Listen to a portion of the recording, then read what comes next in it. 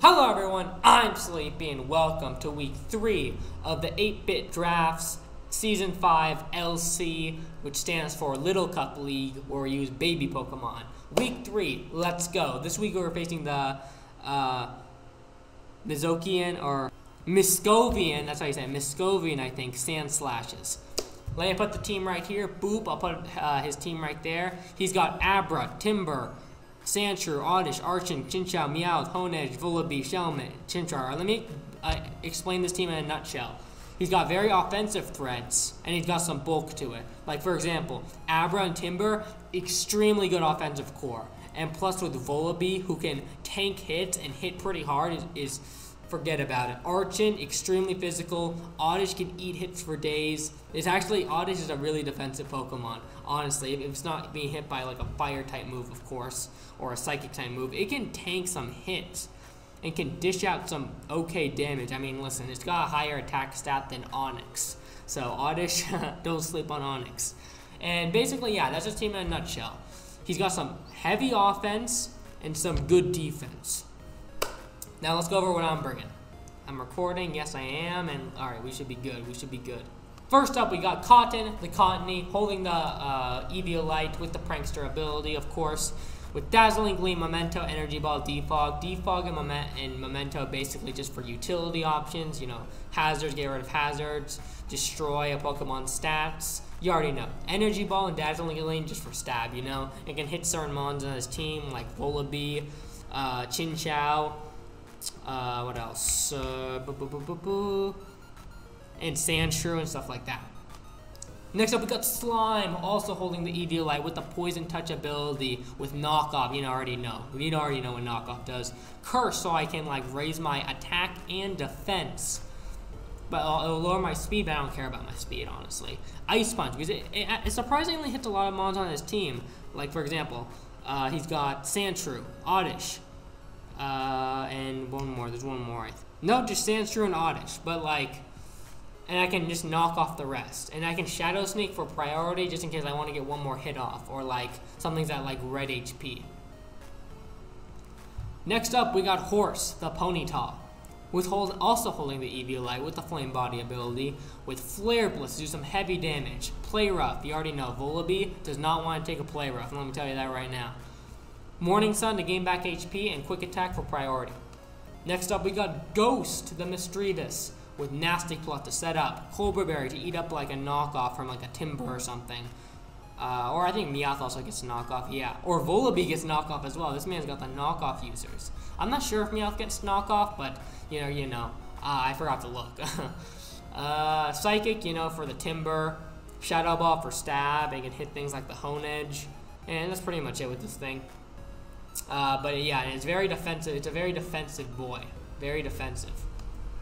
Next up, we got Pine Cone, the Ponyta, with, this is a very uh, interesting set. Rapid Spin to get rid of hazards, Stealth Rock and Spikes to set hazards, and Explosion to go out with a bang. He has no ghost types on his team. Well, let me check really fast.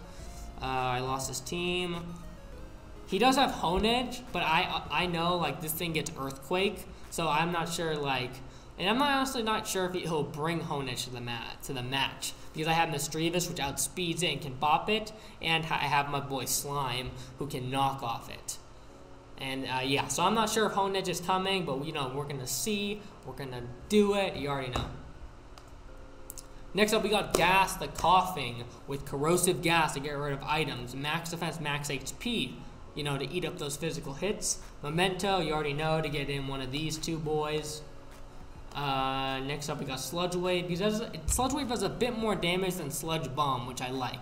And Flamethrower hit things like the Oddish and uh, what else? Honedge. And Shelmet and also. It can also hit Shelmet. Am I recording? I hopefully I'm recording. Alright, yes I am recording. This is the team. Hope you guys are hyped for the match.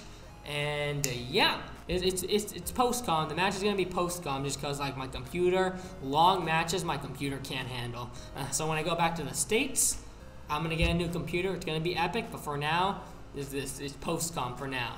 But, hope you guys enjoy. See y'all in the battle. Alright, Boop, we are here in the battle. So, let's get this battle started.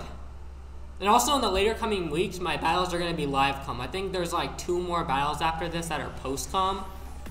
Yeah, I think one or two, I forgot. But here we go, let's go. So first I lead a home. Let me uh, put this to, uh, I think, slow. Alright, so first I lead off with Koffing. He leads off with Arch, and I'm like, okay, I'm gonna corrosive gas something. Something's getting corrosive gas because he can't knock me off in one hit. Then he goes Timburr. I'm like, okay, I corrosive gas, I get rid of that Eviolite, which is really good. He knock off, he knocks off me, so I get he gets rid of my Eviolite. So I'm like, hey, let me Sludge whip him. He does a decent amount of damage. If I can get the damage on this thing early, that'll be really good. He goes for Drain Punch, me predicting me to switch out. I go for another Sludge Wave.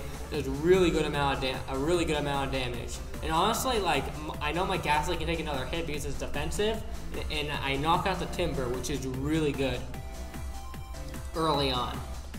Alright, so now Gas comes, uh, Oddish comes in. He sludge bombs me and he kills me because he, I'm not able to live it without my Eviolite. So, see, Oddish, you don't mess with around with Oddish. Then I bring in my Ponyta. Then he goes on the Chinchou as I go for a Flame Charge. I should have predicted that. I really should have predicted because I really thought for, for a moment there. I know he's to go on to Chinchou. Like, I had a really strong feeling in my mind, but I didn't predict it. I should have gone for the stomp, Stomping Tantrum. So I got on to Cotton, my uh, Cottonee. He goes for T-Wave and paralyzes me. Then he goes uh, back down to Oddish, Oddish for obvious reasons, because like he'll obliterate me with a poison type attack. So then I go into uh, my boy Slime. I think I can speed this up a little bit. He goes for Sludge Bomb. I eat that up like a champ. He goes back into Chinchou. I, I, I just knock up and obliterate this thing. And then he goes Vullaby. And then I'm like, okay, he, he knocks off, knocks off my Eviolite. I'm like, okay, let me knock off his Eviolite as well. And here, he Brave Birds, and he does so much damage. And here, I decided to curse, which is a really stupid play, because I know, I think Ice Punch without his EV Light would have killed him that range. This was a huge choke, a, a ginormous misplay on my part. Let me emphasize that huge misplay. And I was like looking on the calcs and uh, it was like looking like, huh, I can eat up an air slash, but this thing, I should have known that this thing can be physical as well. I've like dealt with these things physical before and they're mostly run physical. But I'm like in the calc, like the automatically like like when you press Vullaby, it automatically gives you a uh, special type set, and I was like, huh, this, must be a special uh, a special Vullaby, but it wasn't. Braper does a buttload more damage, and I choke. So here I decided to just go for a Shadow Sneak, just to get a tiny bit more damage off. I really wished I Ice Beam there. I really wish I Ice Beam. That is a big misplay on my part. So here I go for Flare Blitz, didn't want to over predict. Just wanted to hit right what was in front of me, so I go for Flame Charge. Then I switch out into Cottonee right here. He goes for Head Smash, destroys me. Uh, I'm not sure if the crit mattered, probably not with this thing, this thing's power. So then I go into Pineco, which I probably should have gone to Misdreavus to be honest, so set up Spikes. Which honestly, this was like mostly to, I'm not sure what I set up Spikes for. I think it's for when the Oddish comes back in so I can get damage on that because I know Psychic can't take it out. He goes, and now here, here goes for a Sludge Bomb. He gets the poison, which is so unfortunate, but I've got poison hacks before, and it's 30%. It's like a Scald burn, so I wasn't too mad. I'm gonna take a quick sip of water. so then I go for Psychic. He goes for Giga Drain, gets health back. Then I take poison damage, and then I Psychic one more time, knock him out, but then I get knocked out because of the that toxic damage, which is so unfortunate because I could have hit something one more time. So then he goes Abra. He goes for Psychic. I know I live one. I'm like, okay. I go for Play Rough here because I assumed this thing was going to be Sash, and then I go for a Quick Attack and knock it out. So this is my thought process right here.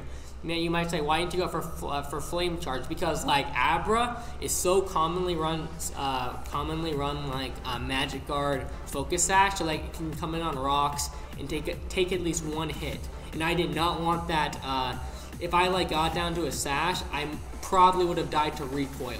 And yeah, so that's why I went for play rough. I knew it was a risk, but it was a risk I probably had to take. And then I could take it out with quick attack. Yeah, I just did not want that recoil damage. So here I go back into Pineco. He goes for knockoff. I probably should have just stayed in, to be honest, but like, as you can see here, uh, I really should probably just stayed in, but as you can see, uh, Flare Blitz, I burn him, which is nice, but he has the berry juice, and I take a little bit of recoil, and he knocks me off, and he wins the game. Big GG's to my opponent. He played really well. It was my fault for not doing the. I think I played early game kind of well. There's a few predictions like I probably could have made better, like expecting the Chinchou to come in and stuff like that, but I really, I'm really kicking myself over that ice punch play. I really should have ice punched there. Let me emphasize that. I really should have ice punched. I'm so mad at myself for not ice punching on that play. Oh my good golly gosh. Well, that's why we, we live and we learn, right? We live and we learn. I am a stronger, this loss has made me a stronger trainer. Each loss is a win because you learn something new uh, and how you can improve each loss so you can win. mm. That's gonna be all it from me. Thank you guys very much for watching. This was a close game, but unfortunately we couldn't make it out with a dub, but that is okay because we'll be, we'll we will, uh, hopefully we can, uh, what was it? Uh, hopefully we can bounce back. Maybe we will, maybe we won't, who knows.